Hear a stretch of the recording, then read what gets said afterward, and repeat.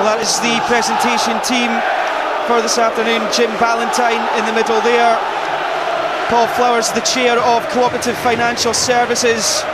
He too part of the presentation team. Indeed, it will be he who hands over the League Cup to the winning captain at full time.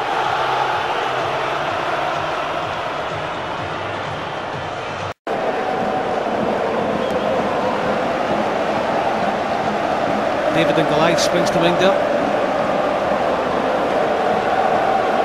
Yeah, he did well. You, not we get off his feet with a little nudge like that.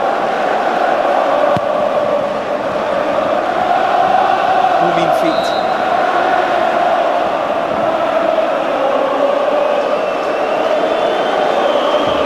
Naismith not happy there. He's had reason to be happy at the National Stadium just recently scored for the national team against the world and European champion Spain here in a Euro 2012 qualifier. Of course, he got the winner against Motherwell in the semi-finals too.